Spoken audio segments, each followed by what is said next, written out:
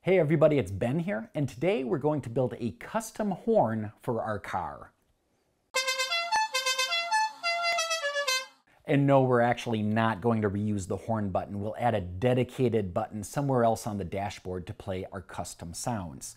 So let's take a look at the parts that we're going to be using here and then specifically what they do. We've got an Adafruit sound effects board, a 100 watt two channel audio amp, audio cable here, some buttons, an eighth inch mini pin uh, female connection, let's see, a cigarette lighter plug, 12 volt to 5 volt uh, power converter.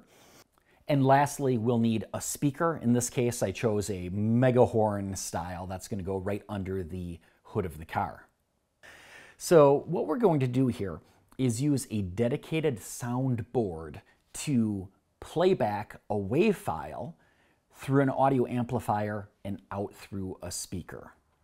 So let's take a look at the parts we're using on the project. Right here, I've got an Adafruit soundboard, uh, very small, uh, nice little compact thing. It's not an Arduino. We don't have any programming here.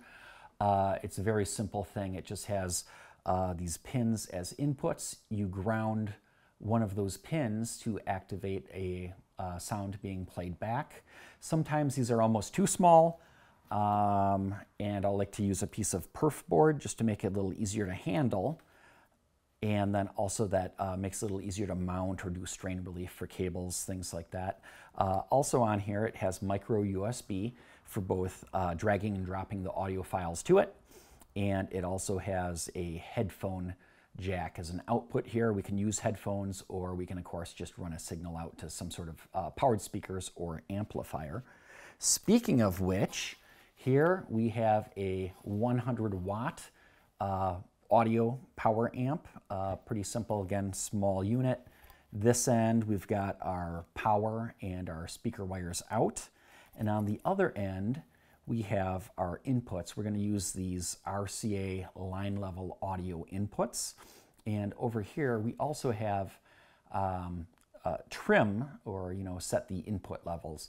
But in functionality, that's also going to work uh, exactly like a volume control. Now, to get our audio in here, we're going to need a cable. I've got this one right here, uh, stereo mini pin on the one end, and then our uh, line level RCA audio out over there. We're going to need a cigarette lighter plug. We're going to use this to power everything because uh, this is for the car. Also, I wanted this to be removable. Otherwise, I could hardwire straight to a dedicated circuit in the car. We're also going to use a little dedicated power supply for USB. This is essentially a DC to DC converter. It takes 12 volts in and it outputs 5 volts and it has attached to it a micro USB output. Uh, there's other ones too where uh, just has like a USB output. You plug in whichever kind of cable you need it to be right there. We also need some sort of a button. Um, I had this really cool horn button around, which I like, except it's actually not going to work for us. You got to keep in mind in your car, you're probably going to find some sort of a uh, place to easily mount a button. I found this blank spot on my dashboard. I was easily able to pop this out but if you look on the back, there's not a lot of room in there. In fact, the whole thing is smaller than the horn button. So the horn button's not going to work, but a nice small button will. So I've got some of these buttons here. I like the yellow. It's nice and bright. That's going to fit in there. And of course, because the shape, I really need to make sure it fits first. So what I did was simply pull off the nut, drop it in there, make sure it fits, and then that's also going to be used to determine where I'm going to drill the hole, which on this is actually not going to be centered. It's going to have to be just a little, little tiny bit off center.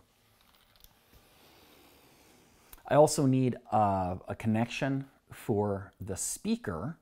Now our speaker uses a mono eighth inch connection, so I've got this little tiny um, component right here and again, that's kind of a nice, nice reason for having some perf board around because I can just mount that right to it, make it a lot easier to do the connections. So on the speaker wire out from the amp, what I did was I put one of those connections onto just a little piece of perf board and soldered on the two wires from the audio amp output. And this gives me a nice place to uh, mount things, make sure I have some strain relief and all. And then the back end of this just plugs into the amp. So there we go, that's our speaker connection. Now to power everything was actually pretty simple. I've got my uh, 12 volt cigarette lighter plug connector and then if we follow it to the end, all I simply did was take the red wires from both the amplifier and our little power adapter, put them all together, twisted them, just added a little bead of solder, and connected it to the red wire. Likewise, two black wires, one for our little uh, power adapter, the other for the audio amplifier, put them together, twist them, little dab of solder, and of course using some uh, heat shrink, remembering to put that on before doing the soldering so we can have some nice clean connections. And then also uh, just some zip ties to take up any of the extra wire out of the way. And then we've got our audio connector right here, or uh, power connector for the audio amp. And that's gonna plug into our power connection. So now we've got power and audio out. And then our input end, just take this cord,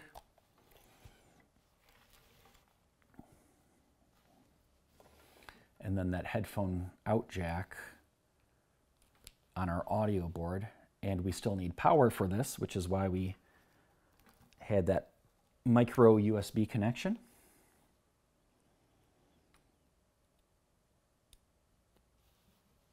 And now the last thing we need is just a button right here.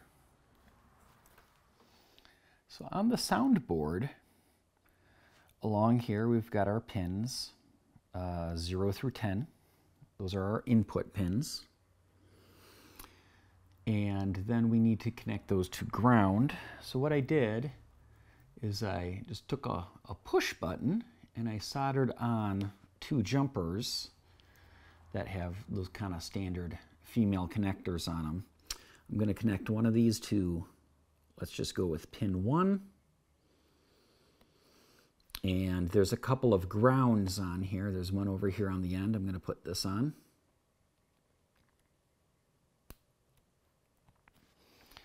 So now when we press this button, we're going to connect pin one to ground, and then automatically our file associated with that will play back. Of course, we're not powered up yet, and we also have to load our audio files onto here.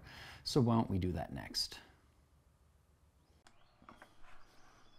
Okay, here we go. We're on my computer, and we just plugged in the Adafruit sound effects board uh, with a USB cable. We can see here um, that it is showing up as a drive. It does in fact have 16 megabytes of storage on it. It's FAT16, so it's basically old school, simple, uh, like a thumb drive. You can plug it into a Mac or a PC or whatever you want. Now, on my computer already, I have uh, some different sounds to play with my custom horn. So, for example, if I preview this, no.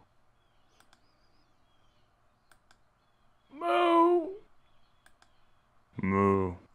You can hear we've got a couple of different sound effects, but the way that those are named, those are just regular descriptive names. That's not how we use them on the Adafruit board. Instead, it has a distinct naming convention. Uh, it's the trigger number or the pin. Uh, so T followed by the number like 00 or 01, 05, whatever it is. Now I'm using pin 1, so I'm going to do T01 and then I don't just want the sound to play. I actually want uh, one of a number of random sounds to play. So I have these all named as T01 Rand and then uh, a single digit number for my, my various files that I have in here. So it's going to randomly play uh, files 0 through 8.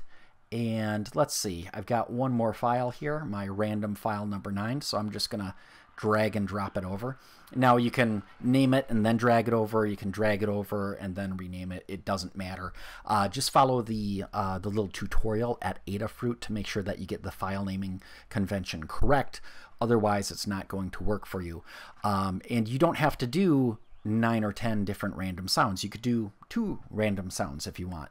Um, but uh, they do have to be in order. I found that when I accidentally didn't have zero in there, it didn't work at all because it, it wants to start at the bottom. But now I've got those sound effects all in there and they're ready to go. So I just have to eject from my computer and then go and plug this back into the car. Okay, back from the computer. We are now at the workbench. I've got our soundboard with power uh, connector to it. We've got our little test button. Uh, to power this up, uh, our 12 volt cigarette lighter plug. I'm just going to bench test this right now with a uh, benchtop power supply. Just run some leads to that 12 volt, turn that on. And then for the output of this, I'm just going to test it with uh, some headphones that I've got right here. And we can see right now there's a little power light on there. Right down here, we've got a power indicator light. In fact, I'll just kill our bench power supply.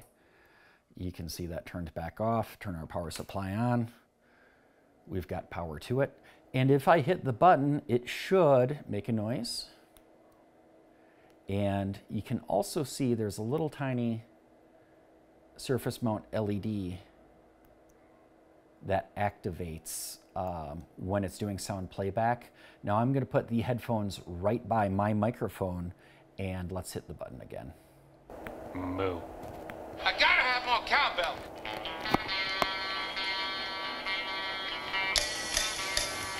Okay. Well, anyways, even if it doesn't come through uh, on the microphone, uh, we know it's working and now we're ready to install this in the car. Now one thing I didn't show you because it's hard to film uh, is just chasing the wire for the speaker uh, from under the hood back into the cabin of the vehicle. What you need to do there is find uh, some sort of a grommet or some location where some of the existing wires already pass through, or you might get lucky, find a blank plug, but basically to get the wire through from under the hood to inside the car. Now, in a previous project, I already knew exactly where that was, so I was able to use that same location, a piece of wire, uh, tape the uh, stiff wire tape the speaker wire onto there, poke it through, pull it through to get the speaker wire inside the car. So right over here in the car, we've got a blank cover plate, uh, a couple of them actually. I already used this one for a previous project. So let's put our horn button right here. And all I really need for that is take a little tiny screwdriver, get it under here, pry it and push up just a little bit. And then that comes right out. Next, I drilled a hole through the blank plate. I soldered a pair of wires onto a button, ran that through the plate, installed the button in the plate, and then fished the wires through under the dashboard.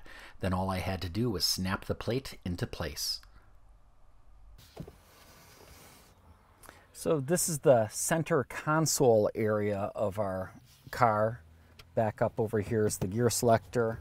And I was able to pull this out because this is where I pulled through the speaker cable. So we've got the speaker cable. It's nice and long, so we could still put our project kind of anywhere we want. But of course, with that extra cable, I could wrap it up, zip tie it, get out of the way, whatever I need to do. I also put a pair of wires coming through here from where I'm going to have the speaker, and I put a pair of those little um, kind of computer jumper female connectors on there. So now we've got our amplifier, all our cables coming off of it, and our soundboard right here. So I'm going to take off our test button. Going to make sure that the cable from the soundboard out to the amplifier. And then the amplifier output is now going to our speaker. Need to make sure that everything has power. So we've got our cigarette lighter plug and our cigarette lighter is right here. Like literally right there. Um, and again, I wanted to do that so this is removable. It's still, the wire's pretty much out of the way. Um, if I decide I really like this, I want to kind of permanentize everything. All I have to do is go back here and splice in, uh, make a more permanent connection. This is now the wires uh, from the button on the dashboard, and I need to make sure that that goes into the back of our soundboard on pin one and ground. And if I'm happy with how all this works, um, I don't have to use little jumper wires. I could solder those in place uh, nice and permanent so it doesn't fall off or anything. But I think for the moment, I'll just leave it so I can play around with some of the other pins. Okay, at this point it looks like a rat's nest, but everything is plugged in. So all I gotta do is turn the key on the car, turn on the ignition, or at least put it in the accessory mode. I'm gonna see right on here, we've got a little power indicator light on the amp. We know everything's working. Um, a little tiny power light on our soundboard as well. Looks like everything's ready. Uh, also, what I'm gonna do here is I still have that sensitivity control on our amplifier. So I'm gonna make sure that's turned all the way down just so I don't annoy the neighbors while working on the project. And now just lean over and press the button. Press it again. Keep pressing it. And it works. Uh, so now what I can do is set the volume up to where I want it to be for actual use. And I found that the size of the amp and all the other wiring together actually fits really nice right here. There's a spot between this vent and the plastic that goes over it. So all of this, I just got to tidy it up, zip tie everything together, make everything nice and out of the way, and it's going to fit right back in here. Whole nine yards, and then I can put the cover on. Last thing before packing all this up, I'm just going to use a couple little dabs of hot glue. These will keep these jumper wires in place so I have good electrical connection. And then I can also use it as strain relief just to uh, hold the wires directly onto the board. So it's kind of multi-purpose and uh, solder is actually pretty hard for me to remove, but if I need to pull these jumpers away later, it's pretty easy to do by removing the hot glue. So here we go, looking from uh, the driver's side door. Uh, you can see that with our cover back in place, looks real clean. We've just got power from the cigarette lighter plug. And then of course over here, we now have our moo button. Press that to moo. Now of course, it's not gonna moo at the moment because the key is not in the on position, which is a uh, safety feature, I guess.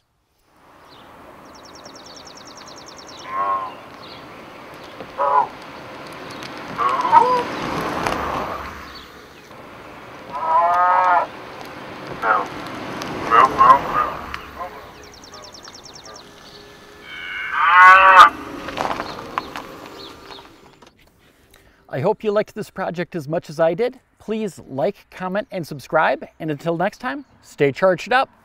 I gotta have more cowbell.